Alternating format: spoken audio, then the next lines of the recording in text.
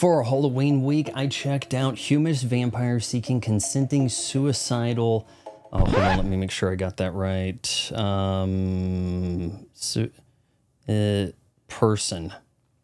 Directed by, hold on a sec, Ariana Louise Sees. Size. It's Canadian, French Canadian, Quebec, you know. Our film centers around Sasha, played by Sara Montpetit, who is an absolute darling here. I'm sure they've got big plans for her. Let's squeeze her into a Christopher Nolan flick so that the American audience can get familiar with her. You know the whole spiel.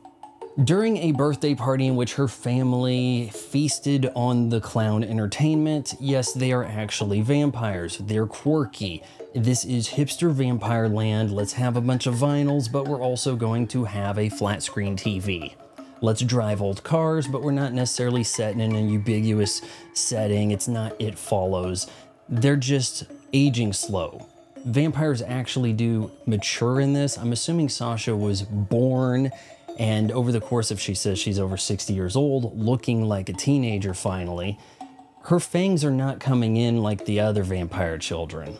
In fact, she is perturbed entirely by violence towards humans, except one day she meets Paul, a guy who wants to be a jumper.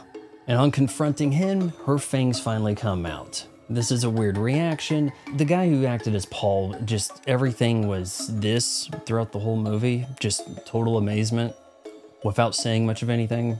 Though changing up the vampire lore so that they do age, they still can't go out in the sun. And when feasting, I guess you have to kill the victim, make sure they their pulse goes and, and they quit squirming. Otherwise, they will become a vampire and you'll probably just be stuck with them for 300 years. This is a dark indie comedy.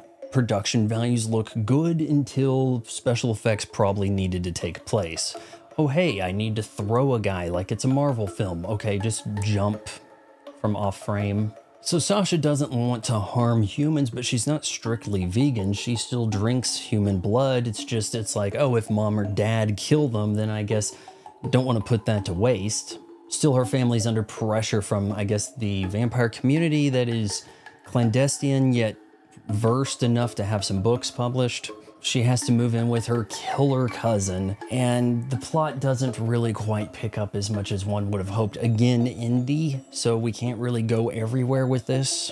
Of course, we've got metaphors here. Your first kill, hey, you invite a boy over, did you do it? Oh, you get it? Hmm? You understand? Hmm?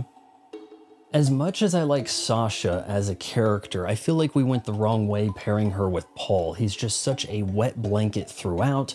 Isn't this supposed to be like the lively guy who um, gets her to see life in a new way? Wouldn't that have been a different way to approach this? But no, I guess they have to be suicidal. Except, really, if you think about it, the title actually comes into the solution they work out at the end. All told, Humanist Vampire Seeking Consenting Suicidal Person is a charming enough 90 minute French Canadian indie film. Don't go expecting a lot more than that. I give it 3 out of 4 stars. Thank you for watching my son's YouTube station. It's not for everyone, but he tries. Maybe if you bought some merch below, he'll eventually get good at the YouTubing.